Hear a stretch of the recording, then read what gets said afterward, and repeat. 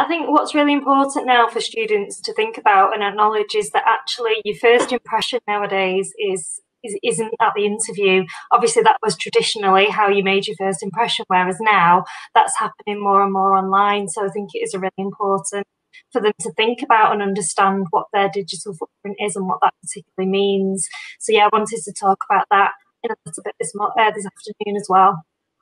And Sarah, we recently ran a competition called Passion Flash, which invited students from uh, across the university to make a three minute video about a subject of their choice to help them develop their skills. And there were some great submissions in that, weren't there?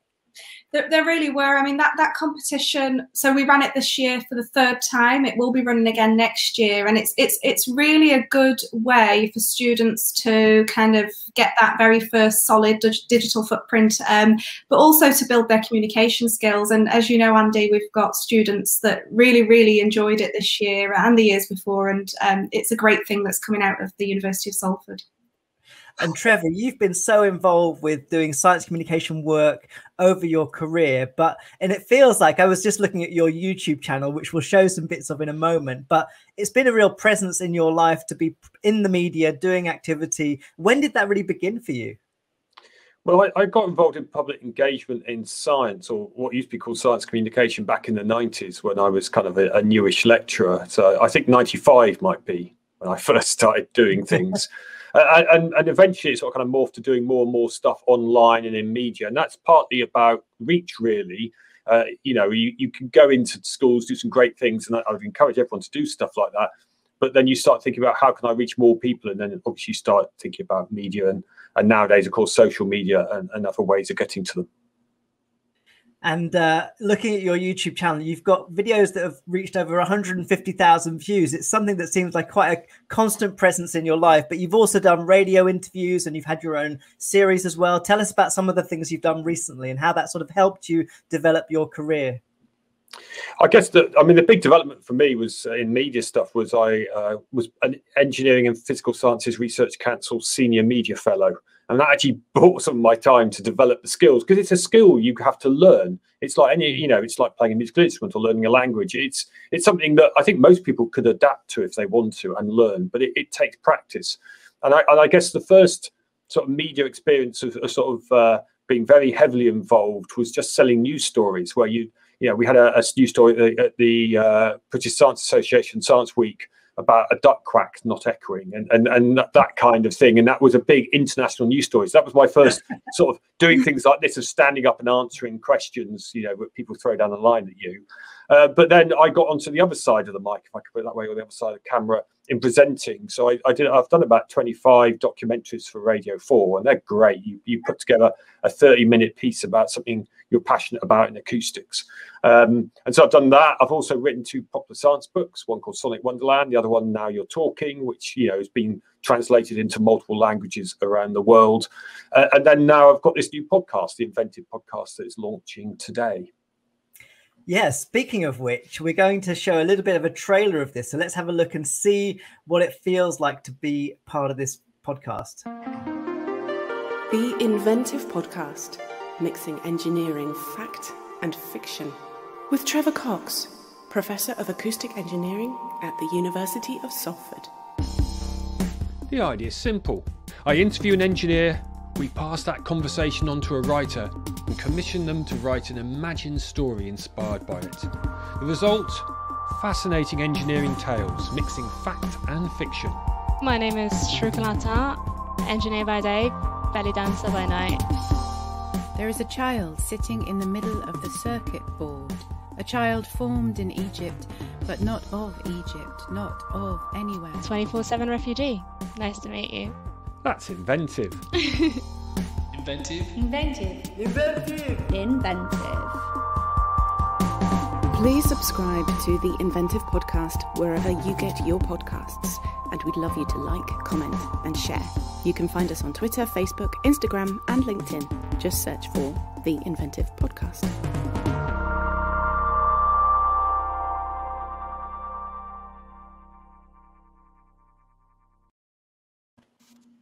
Wow, so that looks really exciting. So I think what's really great to have you here to talk about, Trevor, is just how how varied the sort of academic life can be. And I think understanding how you can begin that very early on in your career, I think is really useful for students to hear because I guess when we started back in the 90s, there weren't sort of social media channels in which we could sort of build our skills, our voice, and also I guess develop our identity as well. And that's a big part of student life today, isn't it? Yeah, I think the great thing about podcasts, and I think the similar, similar is true for things like blogs or, or vlogging, is that there's a very low barrier to actually, you know, actually do it. We can all do it. We can, you know, set up a site tomorrow and start blogging. And and one of the nice things about that is it's it, because it's a low bar to get to get going is it allows you to experiment and, and get things mm. wrong sometimes and see you know write something that people say you know well that wasn't very interesting and because i don't write any comments or write something interesting and see all the comments pull in and you sort of kind of learn what people want from it. So I think there's nowadays social media opens up the opportunity to, to practice your communication. And in the past, that would have been you know standing on a, going to a school and talking to people and, and and learning that way which is also i would suggest also very invaluable to talk face to face mm. to people as well there's nothing like talking to people and seeing how they react live to really understand whether you're really getting the message across so there's tools out there for you to reach audiences which you couldn't reach normally. But of course, what's happened since then, we've lived through the whole era, haven't we, Andy, of it not being there, it being very easy to get an audience because there wasn't very much of it, to it's overloaded. I mean, I can't remember the numbers of podcasts that are launched every day, but it's frightening if you've just launched one, I can tell you, because it's very, very large.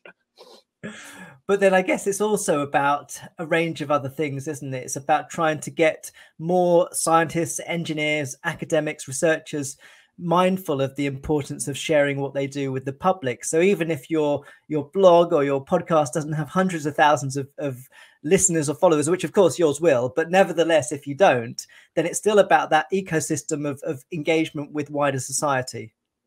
Yeah, and it could be there's a niche audience that you want to talk mm. to, which is small. Uh, I mean, I, I do work on accessibility and other issues where you know, I, the audience will be small for what we're trying to do, but it's the audience who can really gain and, and will get, you know, give us research impact. So it's not always about you need to get on the mainstream television channels and reach the millions of people. There are times where you actually want to access a small audience who are, you know, who, and, and social media may be the only way, or these sort of medias may be the only way of reaching them. And that's one of the great things about podcasting and doing things on YouTube and blogs is you can get that very bespoke audience, that sort of niche interest that you have. Sounds sounds really fascinating, um, Trevor. So, for, for, in terms of students starting out, so um, within the biomedicine team and at HANS and actually university wide, Andy mentioned we've got Salford Passion Flash. We've got we've had students within biomedicine who launched a magazine, uh, but in terms of you know a, a, student going ahead and perhaps starting a blog, would you say that, that that can be about any topic or should they align it to what they're studying? Um, and how might that, I suppose this might then uh, go off to Paula, how, how do we think you know what are the benefits to a potential employer if if we can showcase this on our cv if I if I I'll answer my my side first. I think yeah. the first of all is I think you've got to write about something you're passionate about, mm. and I think that's you know it's nothing worse than setting up a blog because you think it's worthy, and then you've got the oh I've got to write another blog this week and another one, and you're bored by it.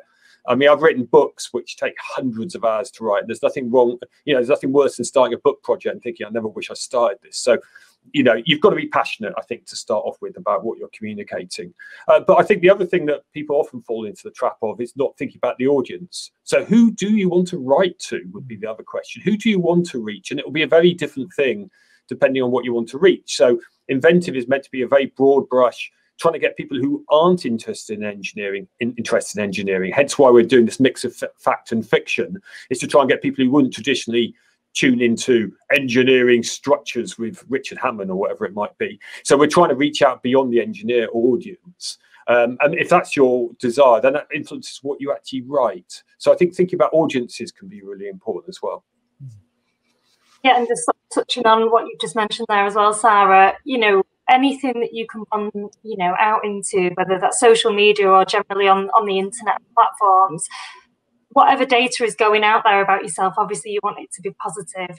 You want when employers are, you know, recruiting and looking and, and seeing what you've done out there, anything that you can put on that sort of creates a professional image of yourself that shows that you you know you've done um a great piece of communicating, sort of backing up your communication skills, your language, all that type of stuff is all going to come across as, as a really positive message to different employers. So I think, you know, as you say, starting a, a blog at this time, or some students now are doing um, promotional videos. So particularly for LinkedIn, actually, that's something that you can put on onto your LinkedIn page now. A few minutes talking about yourself and explaining who you are, almost like a bit of a virtual CV. We're seeing more and more those types of things that are, are coming in, and, and even some companies are asking for virtual resumes. So there is a, a big shift, I think, recently in in the use of social media, particularly, and it's it's really important that students are using that professionally and and using it in a way that's going to promote and sell them themselves. Yeah, definitely. And I, um, my son is just about to start secondary school, so we visited some schools before lockdown all began, and um, and one of the headmasters at one of the prospective schools, he gave a speech, and he said the most important subject at the school today is drama because being a performer is such a central part of being able to communicate your skills, being able to show your capabilities. And I think that aspect of of being present is is such increasing pressure. You hear about prospective employers, you know, will Google prospective employees in, in the course of that selection process. So becoming comfortable with that is a really, like you said, Trevor, it's it's a journey towards being comfortable, and it's not always a quick one, is it? I think you've also got to think that some people won't want to take all that journey. I mean, you know, mm. yeah, I just did a, a, an interview this morning uh, on something else. And you know do you want to be stuck down the line trying to do a live te- radio or television interview uh, knowing that a lot of people are watching? And, and for some people that would completely freak them out. Uh, uh, but maybe some more thoughtful written pieces are something that you know would fit into what you feel comfortable doing. So i think what i i suppose i had if i think about my journey is i had this sort of kind of desire to do it but also the willingness to fail a few times as i do it and not, that not put me off um, but there are some people who, you know, w- would be frightened by the prospect and, and, may find that sort of journey harder. But look at what communications you can do, and and learning to present is actually really important because you'll do that loads of times, not only in your in your undergraduate degree or postgraduate degree, but also as part of jobs. So being able to do it, maybe not to a big audience, but in front of a small audience, is really important. Definitely. Totally. Yeah. And the and so, sorry, Paula. Um, the you know things like writing a blog or you know magazine article that sort of thing i think you know from, from in terms of transferable skills your your potential employer might want you to do those exact things but also they may want you to write reports and um, summary documents. Uh, so again the skills are highly highly transferable and I think it's it is really important to to see those skills, isn't it? And employers to be able to to see that you've got that and that evidence. And it's the other side, I think, as well with social media about when you think of your, your most common platforms that people use. So, you know, your Facebook, LinkedIn, Twitter, that type of thing. It's actually understanding how you're going to use that platform and thinking about every bit of data that's out there about yourself. An employer potentially could view that and search it. And it's not just you know posts that you might put on facebook for example but it could be if you've reviewed something um, and it's actually thinking about the content of you're writing. So not just now but in historically if you were to google yourself and we in a lot of our sessions will encourage students to go away and do that because some people have never done it and see what comes up because your name will come up and there'll be all this information about yourself that you need to start thinking is this professional and is it painting me in that professional manner?